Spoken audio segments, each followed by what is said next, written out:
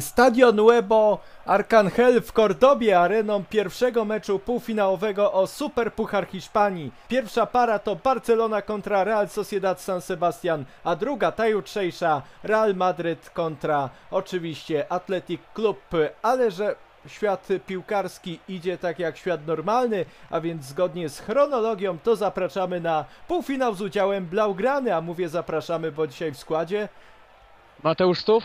Oraz Maciej Piotrowski. Środkowanie i gol!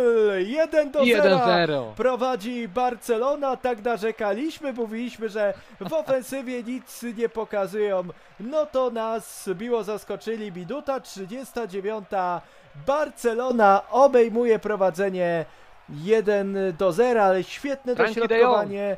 Pre- Pedriego z lewej strony na głowę, Frankiego, De Jonga i mamy 1 do 0, ale zobacz jakie kapitalne zagranie. Pedri pod końcową mnie boiska, De Jong ustawiony na szóstym metrze, główka, bramka, bramkarz Alejandro Remiro, nie ma nic do powiedzenia. To była taka akcja w stylu Barcelony, uśpienie rywala, długie podania na dobieg, y, dobiegł idealnie do tej piłki i wrzucił na tego wysokiego Holendra. Holender też jeden z ciekawych transferów, transferów Barcelony, no i się spłaca, spłaca się bez dwóch zdań. No a teraz y, jeszcze jak mu głowa odskoczyła y, do tyłu, ale mimo wszystko trafił, eksplodowała ławka rezerwowych, zachowując, zachowując oczywiście odstępy. Holender cieszy się z bramki.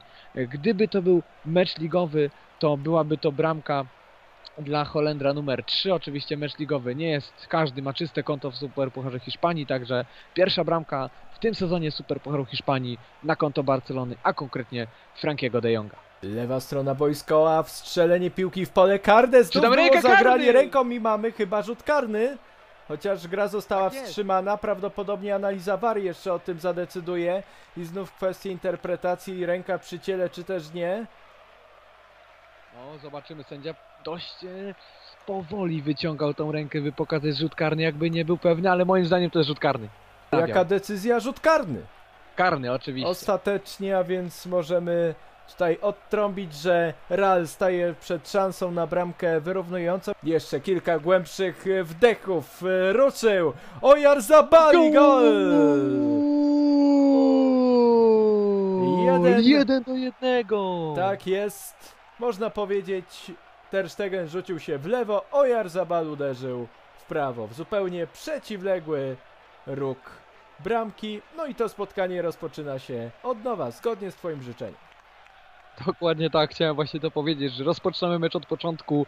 E, Tutaj Dudek Grens nie pomógł Ter Stegen zrzucił się w drugi róg e, względem uderzenia piłki. Taki drobny naskok ala Bruno Fernandes, Oraj Zabala. No i kapitan e, wyrównuje. No i właśnie, teraz mają swoją szansę, mają wynik od nowa i teraz zobaczymy jak będą grać. Czy będą grać spokojnie, czy jeszcze będą za ciosem. Pamiętajmy, 5 minut po strzeniu bramki jest najważniejsze. Tam może się już wydarzyć wszystko. Zapisujmy 50 minutę, y, 31 sekundę i zobaczymy, co się wydarzy przez kolejne 5 minut. No i zobaczymy. Już y, ostatni być może rzut karny.